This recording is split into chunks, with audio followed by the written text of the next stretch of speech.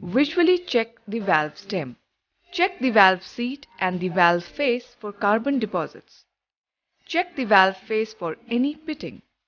Repair or replace if any pitting is found.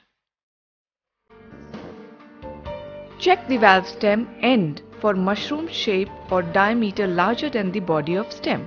Replace the valve if any of the above is found.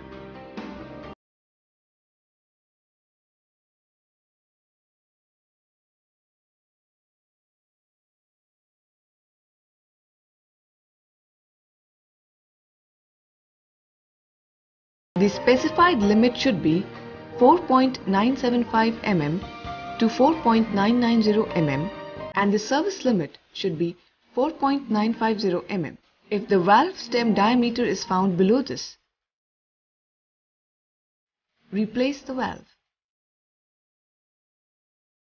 Remember, before removing the valves, make sure the valves are properly sealed. In order to check the valve sealing, pour a clean solvent into the intake and exhaust ports and check. There should not be any leakage from the valve seat.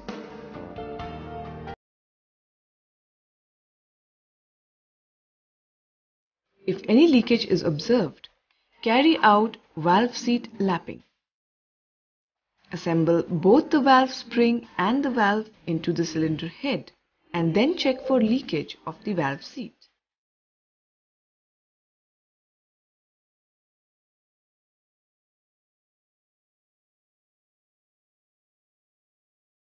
Now measure the valve seat width. To measure the valve seat width, apply red oxide on the valve face.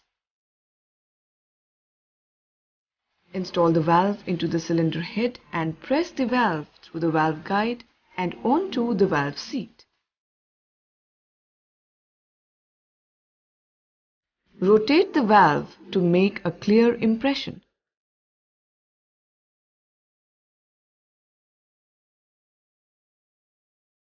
Now, with a vernier caliper, measure the valve seat width. Where the valve seat and the valve face contacted one another, the impression will have been removed. If it is out of specification, carry out valve lapping. In order to do that, apply a coarse lapping compound to the valve face. Remember, do not let the lapping compound enter the gap between the valve stem and the valve guide.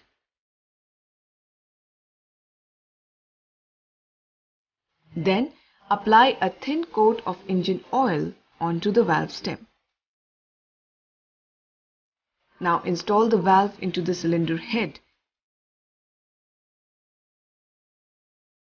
and fix the vacuum lapping stick on the valve face. Turn the valve until the valve face and the valve seat are evenly polished.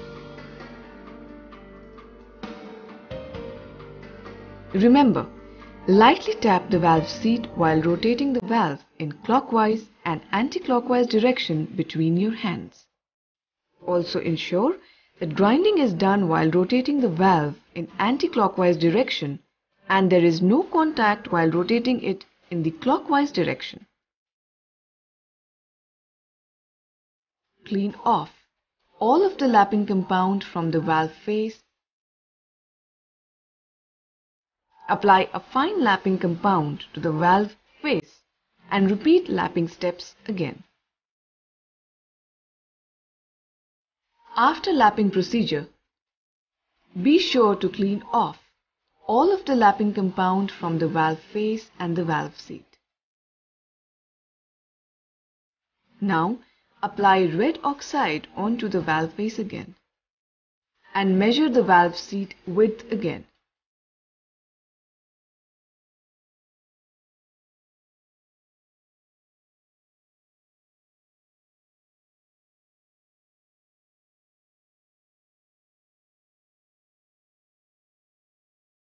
If the valve seat width is out of specification, lap the valve seat again.